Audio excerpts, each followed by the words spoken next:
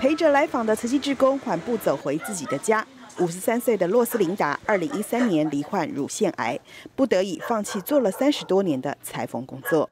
Semenjak kena penyakit ini lah 2013 sudah berhenti saya, soalnya apa namanya lemas, nggak nggak ada kemampuan untuk apa kerja kerja begitu nggak sanggup, rasanya berat gitu.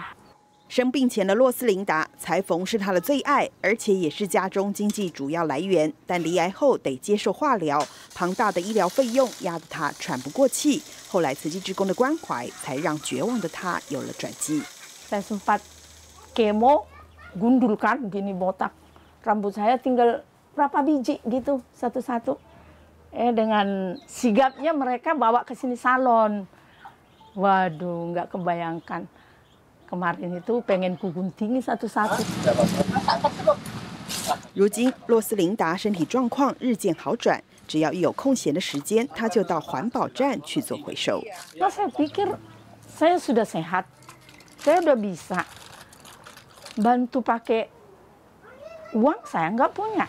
Jadi saya kalau ada daur ulang gitu rajin saya, walaupun tenaga saya mungkin nggak seberapa. 罗斯琳达坚强对抗癌症的精神，后来也感动了志工。这一天，特地搬来了一台二手裁缝车，希望他在身体康复之后能重拾针线，恢复往日的自信。大爱新闻加郎伊拉瓦蒂印尼报道。